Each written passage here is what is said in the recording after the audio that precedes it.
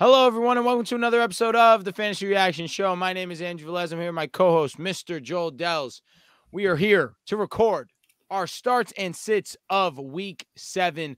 Like we mentioned before on our last episode, we did miss Monday because we were enjoying some Monday Night Football. We were at the Jets and Bills game. Unfortunately, for my brother, Mr. Dehls, the Jets did lose a pretty heartbreaking game, but of course, that also resulted in us double whammy, missing the fantasy reaction show.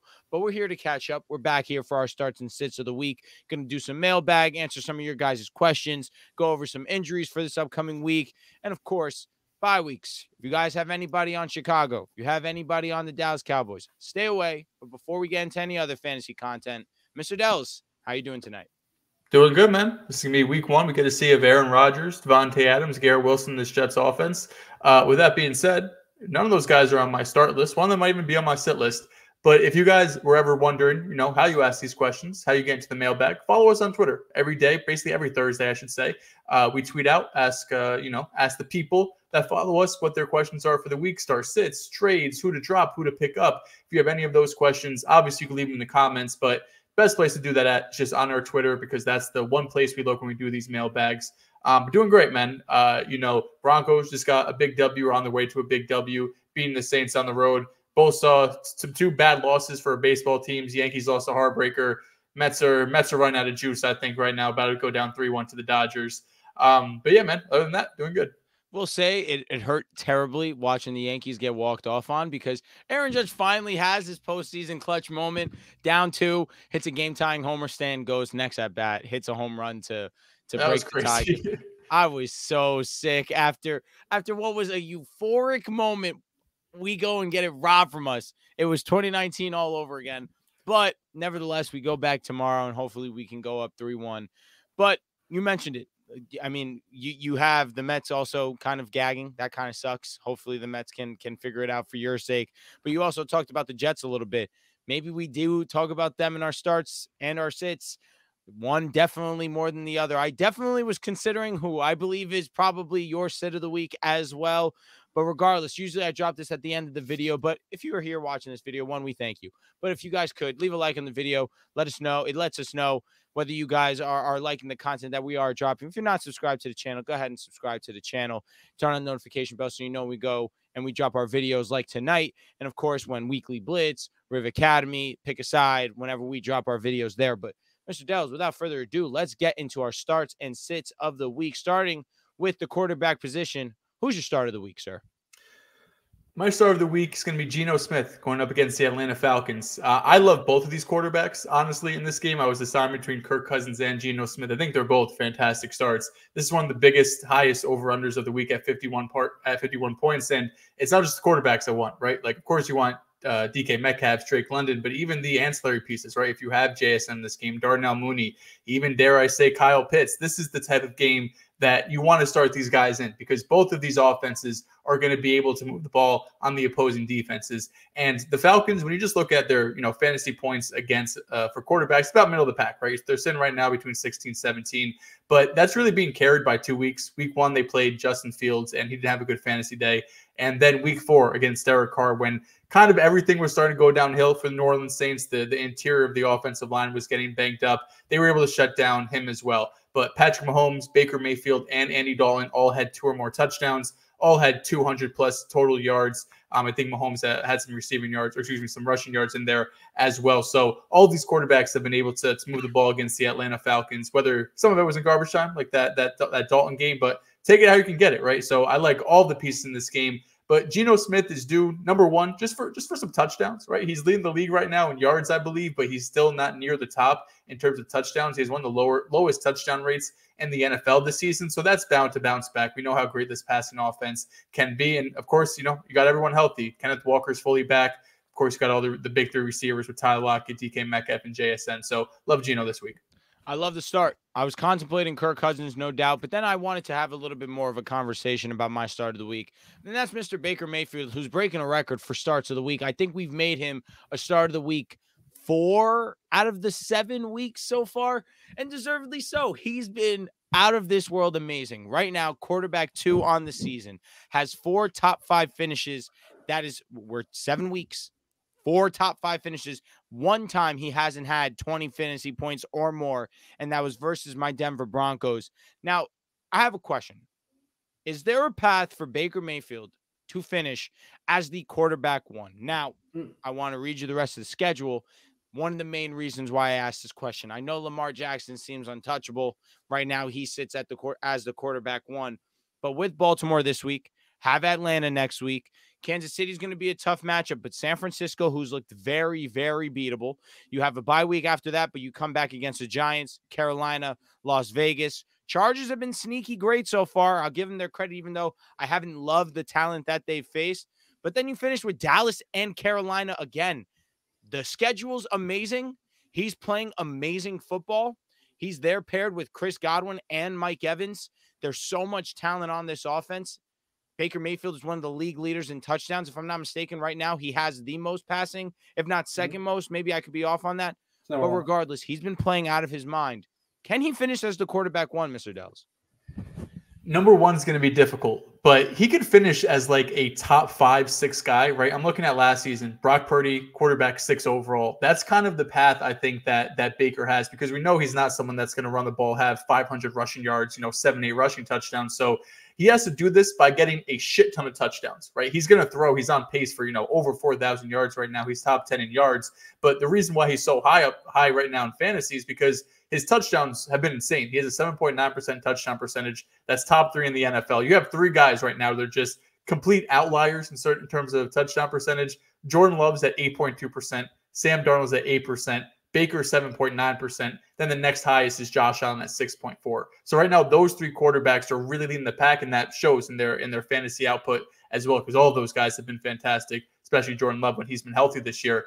Um, but top five, I think, is definitely doable. To get to number one, he's going to need something special. He's going to need some rushing touchdowns. He's going to need to, to teeter with 5,000 yards, possibly even 40 touchdowns, because it's really difficult to do it just as a pocket passer. The one thing I will say that they kind of have, he kind of has going in his favor is Rachaad White has always been kind of the the goal line back, not kind of, he has been the goal line back for these last couple of seasons, and that role might be taken away, right? We'll see if Bucky Irving can be as dominant as as Rachaad White has in these last couple of years, and, and maybe Sean Tucker gets utilized there as well. But the fact that Rachaad White has struggled so much this year has led to Baker being able to throw all these touchdowns because they haven't really been able to rely on Rachaad White in the run game. So number one overall, it's going to be difficult, but I think top five is really possible. No doubt. Listen, let's get into your your running back start of the week, sir.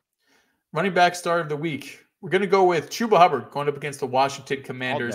Every week, it's got to be someone against the Commanders. This week Love it's going to be Hubbard. He's been one of the best running backs in football, right? Just eye test alone, when you're watching him on film, he's been fantastic. He's breaking tackles left and right. He looks explosive. Right now, he's top three in rushing yards. He's averaging over five yards per carry, top 10 in attempts. He's been a workhorse so far for the Carolina Panthers and has been one of the best picks in fantasy. I mean, this is a guy that was taken probably in the teens of your draft, right? Someone that was one of the last picks before you're taking kickers and defenses. And what they're going to do against the Commanders this week, we already know. They're going to be able to move the ball. The Commanders to be able to move the ball against the Panthers. It's probably going to be a pretty high scoring game. Commanders allowing the 11th most rushing yards per game. And on top of that, one thing I am following is we don't really know what's happening with Diontae Johnson this week. On one hand, it could just impact the offense overall because Diontae's the clear number one on this team. But if he is out, then you could see Hubbard possibly getting getting some more work there as well. He hasn't practiced. Him being Diontae Johnson has practiced Wednesday or Thursday. He has done this the last couple of weeks where he doesn't practice, says he plays, goes out playing, and puts up like top 12 performances because that's what Diontae does when he has um, uh, Andy Dalton at quarterback. But if he's out, there's a chance of Leon Hubbard even more. Uh, my running back start of the week is going to be Mr. J.K. Dobbins. Obviously, J.K. Dobbins is very loved on this fantasy podcast, and for valid reason. Right now, sits at the as the running back 15, and going up against the Cardinals, who give up the 10th most fantasy points to running backs. You look at Dobbins, kind of had a, a, little minor skid, but then comes back against my Denver Broncos, just misses, just misses 100 rushing, but does go for over 100 scrimmage yards because he was able to rack in a six yard catch to put him over the top there and got into the end zone. But what stands out to me was that he saw his highest snap percentage on the season of 73% of snaps. And going up against Arizona, who you obviously know their defense is super weak, and with their offense being as inconsistent as it's been, I think JK is going to be a major part of this offense from the start to the finish. And he's going to be one of those guys that we're going to be talking about at the end of the week. Yeah, I mean, he had 27, 28 opportunities last week. It was a career high for him. So Gus Edwards on the IR. He's just going to keep getting this work. But moving on to wide receiver, staying in the flames. Staying in the flames with Zay Flowers here. He had uh, another great game, two back to back games, uh, 100 plus yards. And last week, it, he should have had 200. He had 130 in the first half and he finished with 130. He got nothing in the second half for whatever reason, I don't know. But going up against the Tampa Bay Buccaneers, another game that should be high powered on both sides, right? You look at the Baltimore Ravens, the number four scoring offense. Look at the Tampa Bay Buccaneers, number two scoring offense. Four of six games this year, Zay Flowers has had nine or more targets. I talked a lot about Zay Flowers in last week's episode, so I'm not going to go in and, and repeat everything I said. But basically, those two dud games were just two blowouts, right? Like you had that Buffalo Bills game, you had that Cowboys game. Those were really the only games where he did nothing for you. Other than that, when the games have been somewhat close, somewhat reasonable, Zay Flowers has been fantastic. He really looks like he has taken his his game to another level this season. So I would be starting him as a top 12, top 15 receiver. I love that for the fact of Zay Flowers had the the little lull to start the season, and we were all anticipating him to really take that next leap. But you see the way that Lamar Jackson and I say this every year, it seems like, and and of course he makes me eat my words, but regardless, the improvement Lamar Jackson has made as a passer from two years ago to right now is incredible to me. This has been by far and away the most impressed I've ever been with Lamar Jackson. He just looks the most comfortable I've seen him in the pocket, but also, you know, he has the big play, playmaking abilities. But what he's been able to do as a passer this season has overly moved me and you see Zay Flowers now being productive. We're getting a little bit of shoddy B in there. Mark Andrews is now finally getting back involved in the offense these last couple of weeks. They can do no wrong. And, and I'm not even talking about the number one weapon in Derrick Henry. They've been super awesome. I love that that play. You want to talk about staying in the flames? Give me Terry McLaurin. Four straight weeks of double digit points coming off a week where he was just the wide receiver five, sitting at the current wide receiver 12 in PPR leagues going up against the Carolina Panthers. Right now, they rank they rank 12th in terms of points allowed to the wide receiver. But this is another one where I'd love to have a conversation, Mr. Dehls, because Terry McLaurin, you could argue his fantasy value, not just obviously in dynasty, he's 29 years old. That that value may be not not great, but in redrafts, Mm-hmm. The value for Terry McLaurin is the highest that it's been since maybe his first or second year in the league. And I brought this I brought this up to to I feel like our group chat a couple of weeks ago. And and really it stems from Jayden Daniels being in that situation, being as great as he has been, but the two picking up a connection from the Cincinnati Bengals game on. He's been dominant. He's been one of the consistent targets for Jayden Daniels, and he's getting into the end zone. That's really what's pushing him over the top. Right now, if I'm not mistaken, Terry McLaurin, he has he has four touchdowns on the season. He's been a dog in that regard. But really, how many wide receivers would you take? Let's not go over the cream of the crop top five, the Jamars, the Jettas, the the Nico Collins when he is healthy. Uh, let's just go over a next tier of guys. Terry McLaurin right now or Mike Evans? I'm still going Mike Evans there. Okay, I understand that he does have the touchdown upside, but Terry's giving me a little bit of both. Maybe I'm I'm continuing the trend of hating Mike Evans. I kind of find myself leaning Terry McLaurin for the fact that he's the best receiver on his team. I think Mike Evans is the touchdown guy, but Godwin's proving this season, this season in particular, that he's the best receiver on his squad. Moving forward, Terry McLaurin or Brian Thomas? I would still go BTJ. Oh, you're you're low on Terry, and it's surprising. I, this is the thing about Terry. Do you know? Can you guess how many yards, just yards, he's on pace for? If I had to guess, eleven hundred. One thousand and nine. Okay, that's he's Terry on McLaurin. pace for eleven touchdowns though. And listen, maybe this is Terry's breakout, breakout. But more than anything, this could just be an outlier year for Terry McLaurin because right now he's on pace for eleven touchdowns. He's never had more than seven in his career, and that seven came in his rookie year, I believe. Other than that, he's been a four to five touchdown guy. And again, Jayden Daniels changes everything. Everything changes when you have a, an, an actual superstar franchise quarterback. But if he ends up getting 11 touchdowns, yeah, you, you should be taking over Mike Evans and all of these guys. But in the case that these touchdowns come down, he really hasn't had the yardage to put him over these other two dudes, right? Brian Thomas right now is still on pace for like 1,200 plus yards and still is probably going to get eight plus touchdowns this year. Uh, Marvin Harrison or oh, God. or Terry McLaurin? What do we do with Marvin Harrison, man? I don't know. I really don't know. Um, I couldn't make him a sit this week because he does have the concussion, and that we're going to talk about that in the injuries. I saw Say that he, one more he's practicing full, which is uh, unlike like un yeah unusual. What? I should say. He practiced in full today. Let's go. Um, okay, that's yeah. that's news to me, truthfully. Yeah, he still has to like you could practice and still have to go through protocol. I I don't know, man. I'm not panicking on on Marvin Harrison, especially on like a dynasty or anything. But I think for this season, Terry has shown me more.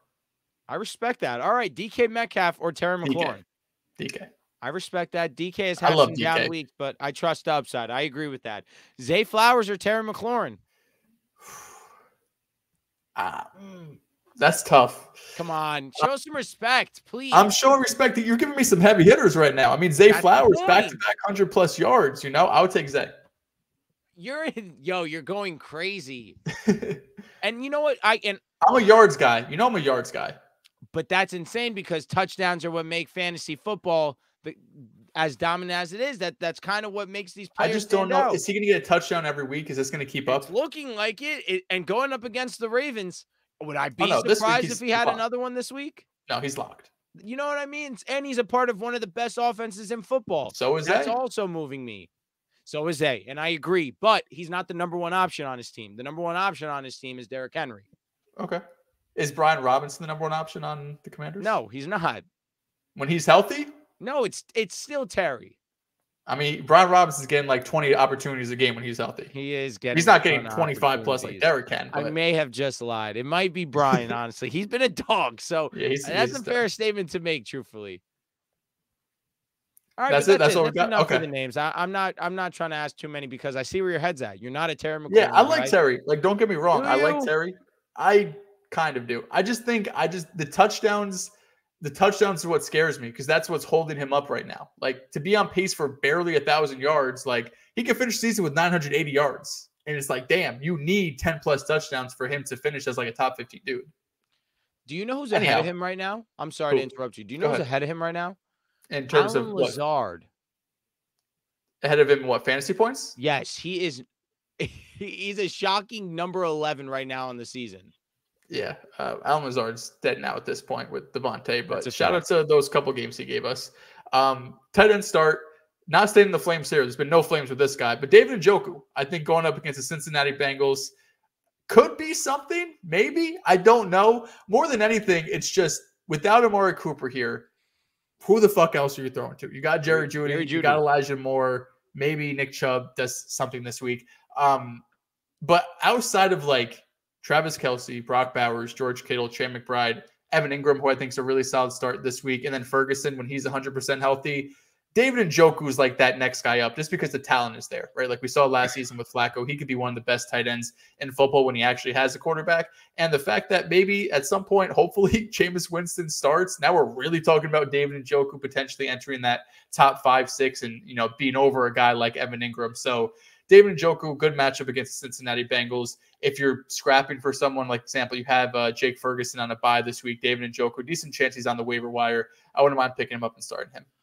Now, Mark Andrews has Here been dead in the water early in the season. He has. Last couple of weeks, he's been kind of cooking. And I say last couple very loosely. Mostly last week, where he finishes as the tight end six, goes for 66 yards and a touchdown on three catches, by far his best game of the season. But going up against the Tampa Bay Buccaneers, a pretty miserable defense, I'm I'm staying in the flames here. Ironically, let's ride it. I think that he continues this hot streak. He's been trending in the right direction. Last two weeks has had over 50 receiving yards in both of these games. Has seen not the greatest amount of opportunity, but he's making the most of it. Averaged 22 yards a catch on last week. Had averaged 14 yards a catch the week before that. He's having big plays. And if he can get into the end zone, which I believe that he can get into the end zone versus the Tampa Bay Buccaneers, I love Mark Andrews this week. Give me him as my start of the week. Yeah, and this is this is the game. If when if and when anyone starts Andrews out there, this is the game to do it because you've seen a couple weeks in a row, like you mentioned, and you have the matchup that should be high scoring. So yeah, I think both of those guys as type of I don't know. David Njoku is probably more likely to be on waivers than Mark Andrews just because of draft capital, but sure. both of them are decent plays. Uh, moving on to sits this week, quarterback position. This is where I'm going with Aaron Rodgers. Uh, I get the hype. I get Davante Adams is there. I get the you know the possibilities of this offense, but it's a really tough matchup you're going up against, right? The Pittsburgh Steelers are allowing the fifth fewest fantasy points to opposing quarterbacks, second fewest points as a whole, just defensively points allowed, uh, top two in the league right now. Their defense has been fantastic, but really more than anything, I'm just kind of scared of how is this pass rush going to look against this Jets offensive line, right? How is TJ Watt going to go up against uh, these tackles that Morgan Moses is still coming back from an injury, doesn't really look 100%. Tyron Smith has been one of the worst tackles in football, point blank period so far. Um, and that's really the one area that if you want to screw up this Jets offense, if you get pressure on Aaron Rodgers, that's going to screw him up entirely. I am interested to see though, because the Steelers have only played really like two good quarterbacks like Kirk Cousins week one, right? Actually, good offenses, I should say. Kirk Cousins week one, but again, we saw that version of Kirk Cousins is not this version of Kirk Cousins. And then Dak Prescott a couple weeks ago. They shut down both of those guys, so I'm going to give them their credit. But they have played some easier matchups, and going up against the Jets offense to be one of their more difficult matchups. Again, this defense is great. They have the talent there. Um, but I am sitting Aaron Rodgers this week. I respect that. He was in consideration for my set of the week. Not many plays I didn't love this week or that I didn't yeah. like this week. Aaron Rodgers stood out. Of course, you're going up against the Steelers, but I'm deciding to to give it a week. Let's see how they look. I know the Pittsburgh Steelers are an elite unit, but you have Davante Adams now added into this offense. I'm going to give him the benefit of the doubt. Let's see it a week and let's see what you can do before I go out there and just blatantly disrespect you. But I think that your your disrespect is warranted. That this Steelers defense is incredible. My sit of the week, kind of getting disrespectful, is going to be Anthony Richardson versus the Dolphins. Now, if you guys didn't know, the Dolphins actually allow the fewest fantasy points to quarterbacks. They also allow the fewest to wide receivers as well. That also can be in due part because they allow, if I'm not mistaken, the most, if not second most fantasy points to the running back position. They've been getting gashed in that regard, but their secondary and their pass defense has been pretty solid, especially when it comes to fantasy. And you don't know what version of Anthony Richardson you're going to get. Are you going to get the guy that slings it 50, 60 yards down the field and you have a bomb touchdown and automatically he's now one of the best plays on the week? Or do you get what you've seen a majority out of Anthony Richardson, which we've seen multiple single digit fantasy performances where he's an inaccurate passer, he's unable to move the ball down the field, and and you're you're left with a lot to be desired if he decides to be the rushing version of Anthony Richardson, which definitely is in the cards, then we can be talking about him being one of the better plays. But coming off the injury, is he going to want to do that to his body immediately? To me, this is where I just have a little bit uncertainty, and I'd rather play it safe than sorry, especially going up against the number one team against fantasy quarterbacks. I'm going to say Anthony Richardson this week. So let's just see. Let's just see how low you are on Anthony Richardson this week. Okay. So you got AR going up against the Miami Dolphins. Would you rather play him or Matthew Stafford with maybe Cooper Kupp back against the Vegas Raiders. It's funny you say that because I really was contemplating Matthew Stafford this week in my lineup, but Geno Smith has a great matchup in Atlanta. That's the only reason why I haven't thought too much into it. But if Cooper Kupp plays, give me Staffy. Okay. What about Justin Herbert against the Cardinals? No, that's that's a bit much. Give me Anthony Richardson. Okay. How about Trevor Lawrence against New England? I'm going Trevor. Okay. Um, let's see here. What about Drake Maye against Jacksonville? Same game. Did you see he got an MRI on his knee? I did.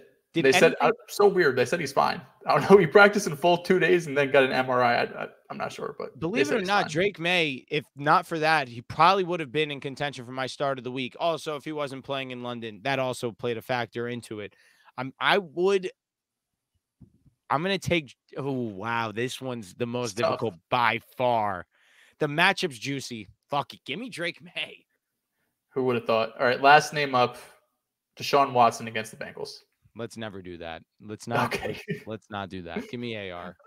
All right, this this moves on to my running backs of the week because I am pumping the brakes Nick on Chubb? Nick Chubb's first week Dude. back. I am pumping the brakes. it's a great matchup. I get it. The Cincinnati Bengals. We just saw what Tyrone Tracy did. We've seen all season long what this Bengals defense has led up. But I'm going to wait a couple weeks, right? Because I think Nick Chubb is going to come in this first week, probably get 10 touches, maybe, right? Ken Dorsey, the offensive coordinator, came out and said his workload is a work in progress, which makes me think they don't really know what he's going to do. They're probably going to see how does he react the first time he gets hit below the waist, right? How does he react when he has to really plant on that surgically repaired knee and take off? Is he going to be sore? Is he going to take any sort of, uh, you know, any sort of beating that he hasn't been used to? Hasn't played football in, in a year at this point. So the matchup's great, right? The Bengals, I think, will be ahead for most of this game as well. So it's probably going to be playing some catch up ball for the um, for the Cleveland Browns here. But a couple guys I would start over Nick Chubb. These are all kind of like running back two ish, running back three, depending on um, you know if other guys are out, for example. So Chase Brown in the same matchup, I think, has taken over the RB one role. You also have Zack Moss, who's been a bit banged up with an ankle injury, doesn't look 100. percent Austin Ekeler going up against Carolina. Brian Robinson might play, but even still, I think Austin Ekeler is the kind of backup there is still going to get his touches and be extremely valuable there. And then Tank Bigsby, assuming Travis Etienne is out, I think he's set up to a really good, uh, really good matchup against the New England Patriots. Now, my sit of the week is going to be one of my guys, James Conner, going up against the Chargers. Now, I spoke about it. The Chargers, I don't believe they've played the greatest competition, but statistically, it's been undeniable. Right now, they allowed the fourth fewest fantasy points to running backs, and Conner's coming off one of his worst performances in a good amount of time seven touches, 24 rushing yards. Pretty terrible game script, obviously, was in Green Bay's favor, where they had to go out there and, and had to to pass the ball for if talking about the Arizona Cardinals. So James kind of got phased out of the offense.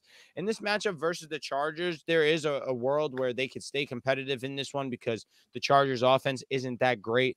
But regardless, this Chargers defense has been really good and really, really stingy in a in a real mat in a real test for them. Even though the Cardinals have been underwhelming as an offense, as a team as a whole, I think I'm playing it safe this week and I'm sitting James Conner. Yeah, he would have probably been my of the week as well. Um, just out of curiosity, you know, there's people who have James Conner in this, uh, uh, you know, between two of us. Um, say Diontae Johnson doesn't play, and you have Xavier Legette going up against Washington. Would you play Xavier Legette or James Conner? Especially if Diontae Johnson doesn't play, Legette gets a huge boost for me. I would play him over James Conner. Yeah, that's how I'm leaning as well. But yeah, this is a tough matchup for Conner. I don't think it'll be as bad as last week because he just didn't Agreed. play in the second half. Yep. But still, like it's going to be tough for him to surpass 60 rushing yards. And if he gets a touchdown, you'll be happy. If he doesn't, you probably won't be. Moving on though to wide receivers of the week, you had Anthony Richardson. This is where I have Michael Pittman going up against the Miami Dolphins. I think it's just time to rethink how Michael Pittman is in this offense, right? Like outside of this being one of the toughest matchups of the week going up against the Dolphins, as you mentioned, since week three, when Josh Downs returned from injury. In week three, Downs wasn't even like a, full player. Downs has 35 targets, 27 receptions, 240 yards. Pittman, on the other hand, only 27 targets, 18 receptions, and under 200 yards. He's the wide receiver, too, on this team. Josh Downs has taken over as that guy, mostly because he wins so easily on that short and intermediate um, you know, portion of the field. But with Anthony Richardson back at, at quarterback, you have to look at these first three weeks when Richardson and Pittman are on the field. You're looking at Pittman as wide receiver 60, wide receiver 66, wide receiver 57. He's not startable. Like I, I know you might be desperate, you might have buys, you might have injuries, but there might even be guys on the waiver wire that is a that are better starts than Michael Pittman this week. A few guys that I named here: JSN going up against the Atlanta Falcons, Darnell Mooney, same game going up against Seattle Seahawks. I think Demario Douglas going up against Jacksonville, I'd rather play over um, over Michael Pittman. And then we just mentioned it. If Diontae Johnson is out, I'd rather start Xavier Legette. My sit of the week, Mr. George Pickens. Now, if you look in the title, I have an honest, serious question for you, Mr. Dehls. Here we go. George Pickens going up against the New York Jets this week. Jets have been mm-hmm. awesome. Fourth fewest points allowed to fantasy wide receivers. George Pickens has been bad this season. Wide receiver 42. Last two weeks, we've seen a huge dip in his snap percentage against the Indianapolis Colts, which was his best game on the season by far. His only game with over 100 receiving yards. He goes for 113. Only game with over double digit targets as well.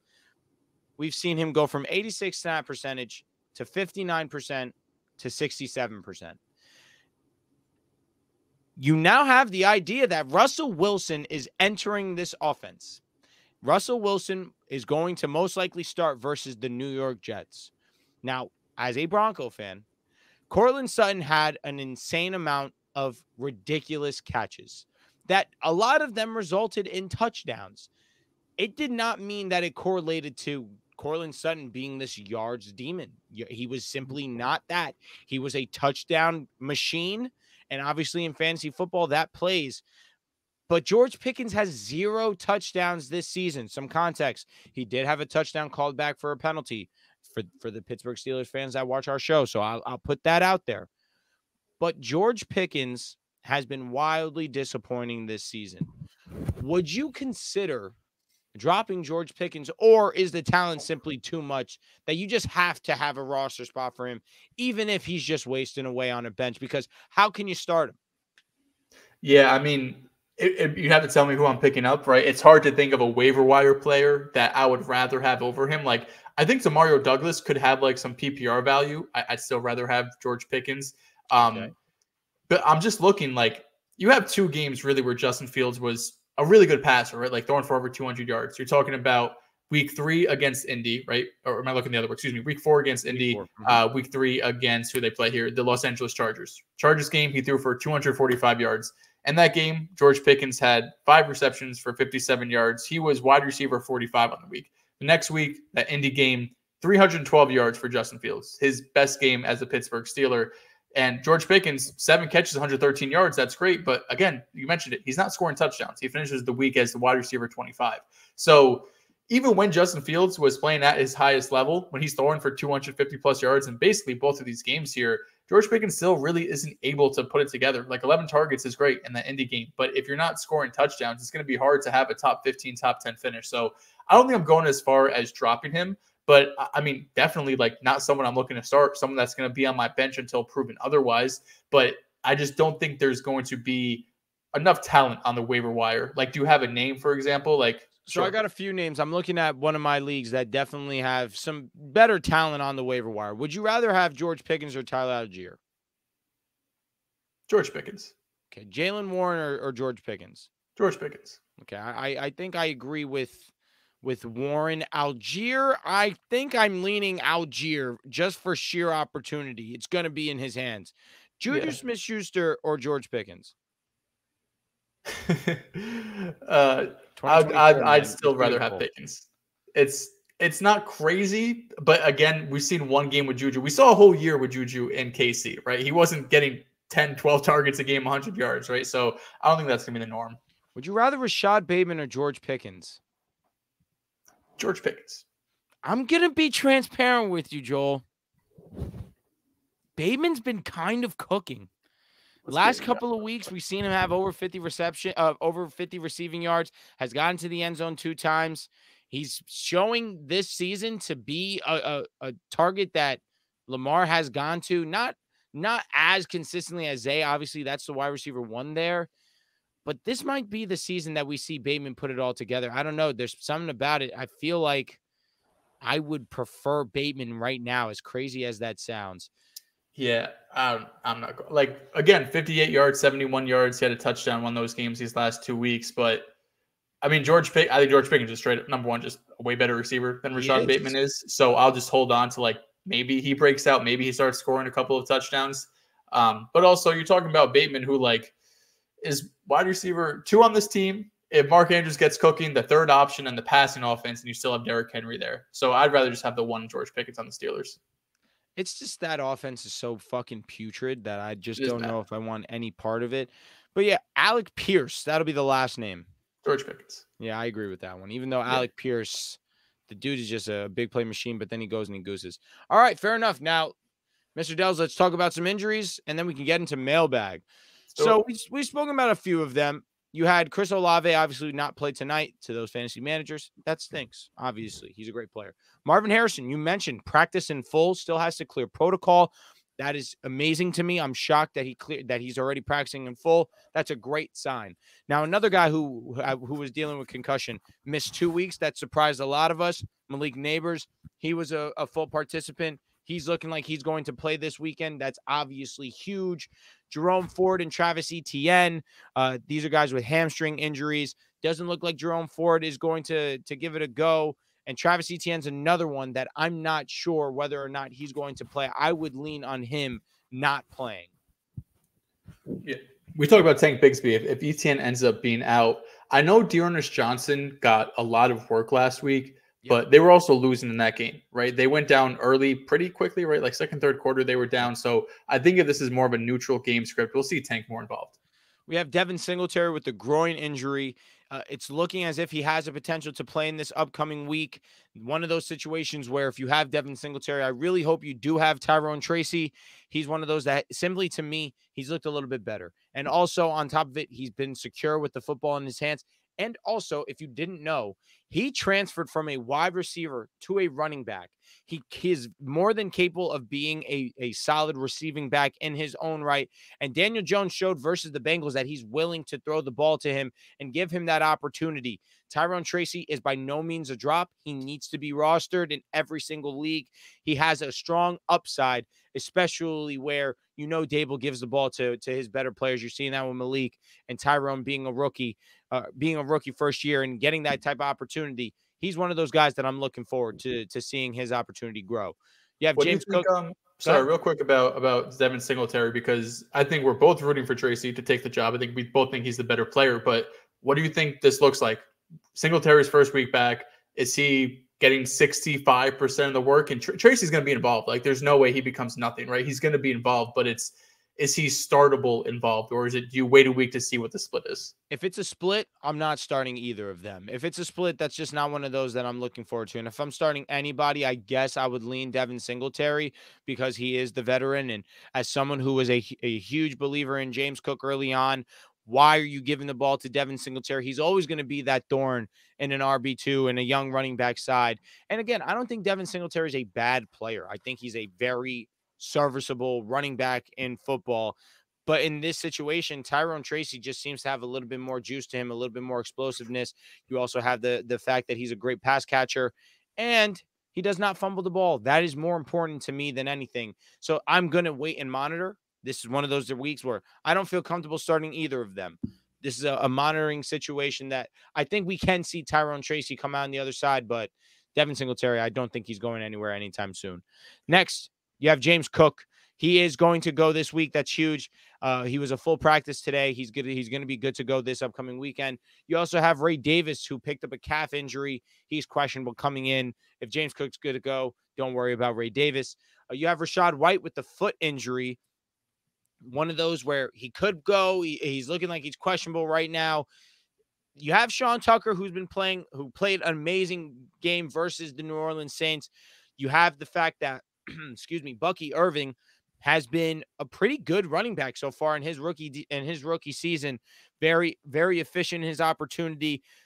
I, I think that you can't start Bucky, in my opinion, because Sean Tucker had such a great game. And also this week, you're going up against the Ravens. You should start no Buccaneers running back. They're the number one defense in terms of stopping the run. So this is just one of those situations where it's a dead week for for Buccaneers. Uh, for the Buccaneers running back crew. But of course, going forward, I don't know how we're going to deal with it because you have Rachaad White, the pass catcher. You have uh, you have Bucky Irving, the efficient runner, the guy who gets into the end zone, and then now Sean Tucker now comes into the mix, and then you have uh, you have the head coach saying that it's just going to be one one of those situations where they ride the hot hand. So it's not a great situation, especially for Rachaad White managers. You have Khalil Shakir with the ankle injury. He's going to be good to go. He's coming back. Nico Collins, we continue to talk about it. He's on the IR, going to miss at least another two weeks. You have Malik Nabers, we already spoke about. Anthony Richardson, my my sit of the week. He's going to play this this upcoming week. So of course, if you are Anthony Richardson manager, at least you have that that positive. But with the inconsistencies of his play, to me, it's it's a it's going to be a wait and see. Jonathan Taylor hasn't practiced, if I'm not mistaken, Mr. Dehls. He has the high ankle injury. I'm leaning towards him not playing. That's kind of where I'm at. You have the the Chiefs, of course, Rashee Rice. If you still have him on your team, drop him. He's not playing. Isaiah Pacheco. That's one of those situations where if you are a playoff team, he's going to be coming back. It's looking around week 11, week 12. That could be a huge boost. Cooper Kupp has a chance to play this week. That's huge news. I lean on the fact that he does play. I think in a matchup versus the Raiders, this is a winnable game. This is a game that the Raider that the Rams need to keep their season alive. Right now, only have one win, sit at one and four, coming off the bye week. I like Cooper Kupp this week. Do you think he goes? Yeah, uh, not a doctor, but the couple clips I saw on Twitter, he looked fine. Like he looked basically what Cooper Kupp always does. He looked explosive. He looked good coming in out of cuts. So I'm sure they're just waiting to see like him going at I don't know 80% at practice. Does the ankle swell up at all? But yeah, you mentioned it. The the Rams have one win. They're sitting here at one and four. They need to win, right? Like you can't really wait any longer to get your guys back out there. Even though you're going up against the Raiders, you need Cooper Kupp and down the line Puka Nacua. So I also lean towards him playing. I don't know like he's not going to play 80% of snaps, but Cooper Kupp playing 50% of snaps against the Raiders could still get you double digit fantasy points. For sure. Now, last guy I want to mention Christian McCaffrey. Now, it's been reported that after the bye week, they're going to open his 20 day window, 21 day window, which obviously that's huge news. You want Christian McCaffrey back in your lineup, but that's also pretty vague because the 21 days you saw it with with Nick Chubb. He he comes off the PUP after week four and we hadn't seen him for the next two weeks after that. Jonathan Brooks is another one that we're still uncertain whether or not when he's going to play. Also, with Chuba Hubbard playing some great ball, but Christian McCaffrey is another one in those in in that situation where he could be he could be active week eight, week nine, week 10, one of those, but you don't know. And Jordan Mason has been pretty great and pretty serviceable, more than where right now he's second in rushing yards in the National Football League. So it's one of those situations we're monitoring to be honest with you, I would target Christian McCaffrey. If you were a if a you are at the top of your league, go and find that manager because more often than not, this Christian McCaffrey manager is probably in last place or near last place, unless they were lucky enough to get Jordan Mason. Target them. Try and get him on your squad because when he comes back, inevitably, that is going to give you the push and the edge of course, to make your championship run because championships and Christian McCaffrey go well together. And that team that's desperate, trying to to make the most of their season that could already be over, they could be desperate and try and make that trade to you, and you can get him for a very low price. What are you giving up for CMC? Would that's you a, give up? Go ahead. J.K. Dobbins. Absolutely. First name okay. that came to my mind. It's crazy. Immediately, the first name that came to my mind was J.K. Okay, I I want to be against that just because I don't know if J.K. Dobbins can stay healthy for 17 weeks. Like I hope he does, but it's it's difficult. Would you go with Brian Thomas? You know, because there are more wide receivers that play well. Mm, that's hard. Yes, I would. You would. Okay, you're you're more bullish on CMC than I am. I I'm not. I've been CMC. I've been the guy that has CMC, and I've gone to the chip. I know what that's like. It's an amazing. Oh feeling. no, when CMC is healthy, yeah, sure. I just I can't trust the Niners right now. He was supposed to play Week One. The fact that they're like, oh, oh. yeah, they'll they'll bring him back after the bye week.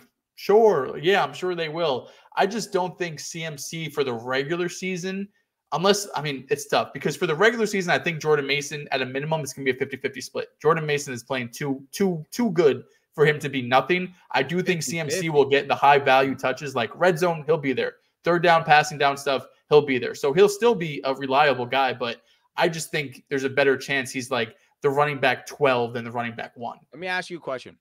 Would you trade straight up Marvin Harrison for CMC? Uh, what's my team look like? Do I say my five and one, six and zero?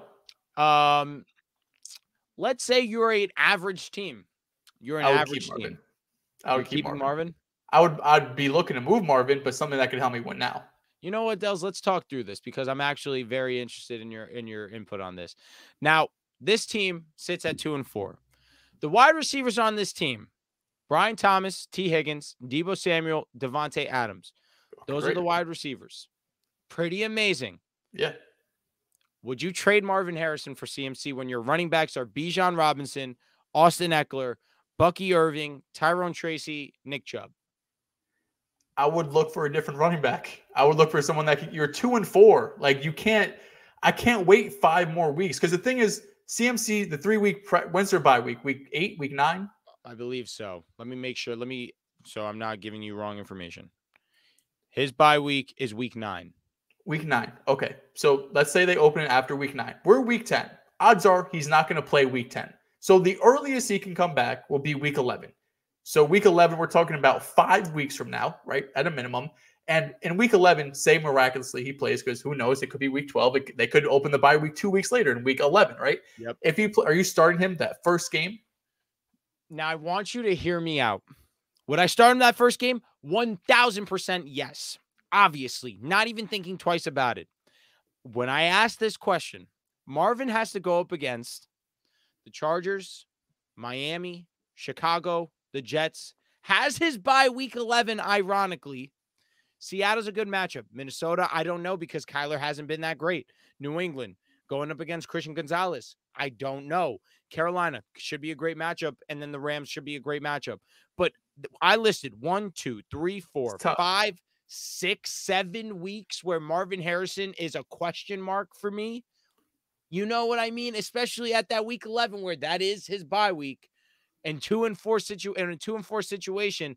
If I'm not going to start Marvin Harrison over these guys, there's a good chance I'm not going to do that for these upcoming weeks. Would I be wrong to take the gamble on CMC? That's kind of where I'm at.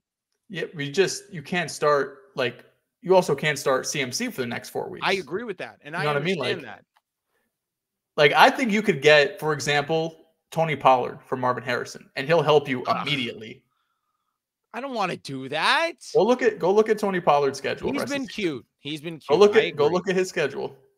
It's been it's a, okay. You know, a beautiful schedule he has, especially when you talk to the fantasy you're playoffs. trade Marvin for Tony, like you could do that.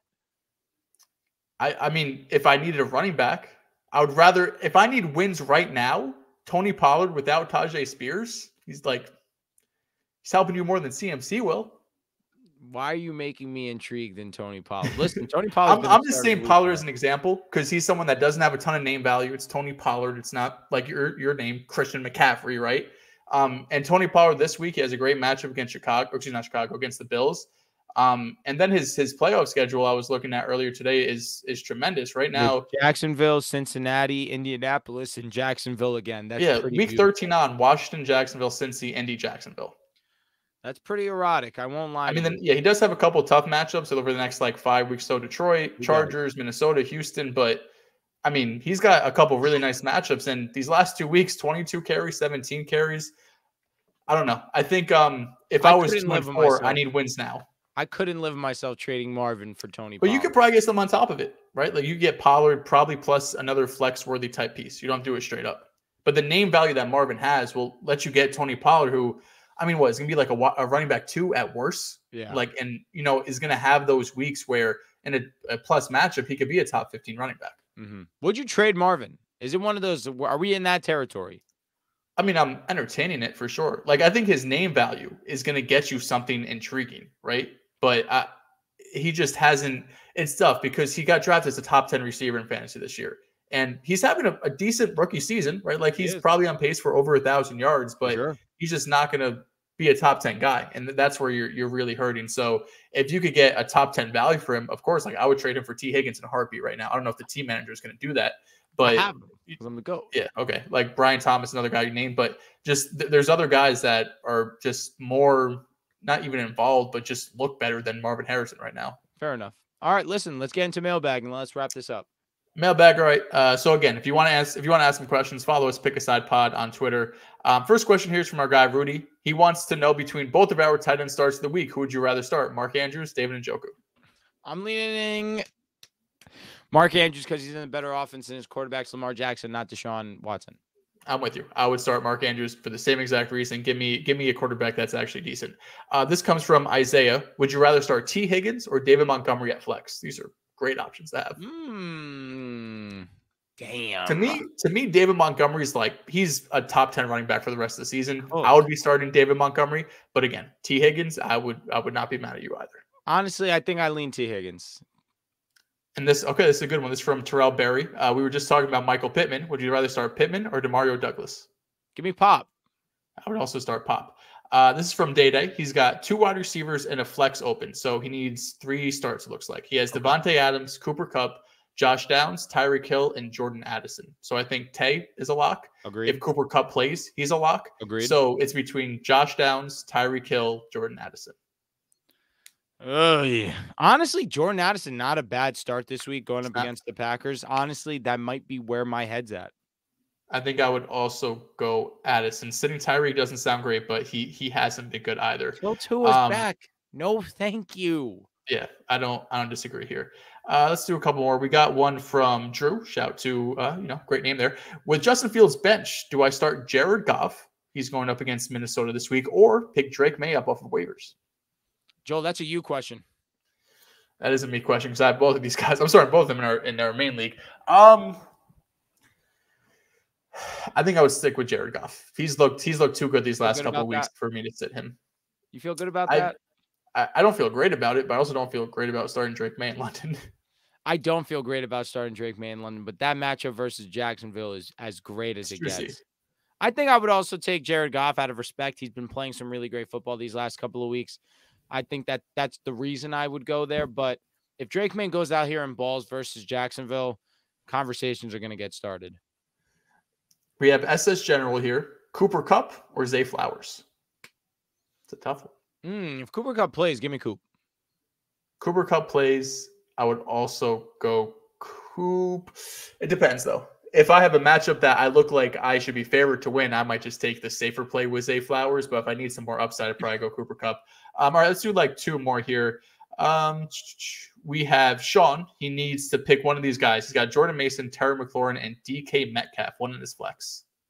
Jordan Mason, Terry McLaurin, or DK? Yep. Oh, he's up. Uh, DK versus Atlanta, Atlanta should be amazing. all day. I'm gonna take DK. Jordan Mason, the Niners. Who are they playing this week? Oh, they're playing the Chiefs. Yeah, miss hmm. me. That Chiefs. I think I would start good. DK. Agree. I would start DK. Okay, let's do one more here. Um, okay, we got a trade question. We just talked about this guy. Would you okay. trade Marvin Harrison for Brian Thomas and Josh Jacobs? Absolutely. In two seconds. Do that in a heartbeat. I would do anything I'll... for that deal in my inbox. Would you trade Marvin Harrison for Brian Thomas straight up? That's a good question. Would you trade him for Josh Jacobs straight up? Because I, it might be yes to both. Wow. Honestly, wow. This this Cardinals offense is so mind-boggling to me. They just don't throw him the ball, which makes no sense to me. It's the best weapon by far. Throw him the football. I wouldn't trade him straight up for Brian Thomas solely for pride. But if that's gonna, if I'm gonna take that off my name because I have a lot of stock in Marvin, BTJ might be the better option right now. He's getting more consistent opportunity. Trevor Lawrence is throwing him the ball. He has mo- he has touchdowns. He has the big playability similar to Marvin, except he's getting the opportunity. I think I would lean BTJ and James and Josh Jacobs. Oh God, Yes, I would. Yeah, Josh Jacobs, I definitely would. Brian Thomas is definitely tougher between the two, but sorry I had I to know. talk through that. I'm really I don't know. I think I would I think you could trade Marvin. I don't know if you honestly can get Brian Thomas plus another piece. No. I, I probably not. You, Joel, be honest. If I sent you Marvin for BTJ, you're accepting it? No. No. No. I'm not. Nope. That is so. Yeah, God. All right, and that's what we're gonna wrap the show up on. All right, listen, if you guys are still here, one, we appreciate you guys. We always appreciate the support you guys show. If you have any more questions, leave them in the comment section. Joel and I will answer all of them. We try to get to as many as we can.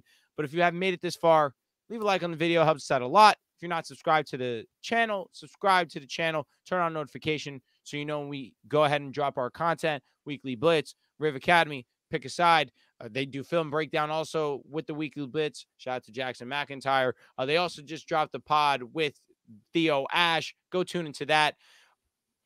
What else am I missing, Mr. Dehls? I think that's it. All right, listen. Take care. We'll catch you guys next time.